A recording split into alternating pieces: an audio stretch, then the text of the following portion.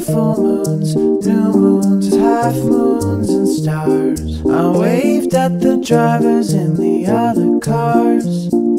Cruised through cities, crossed state lines. Watched the sunset, watched it rise. Said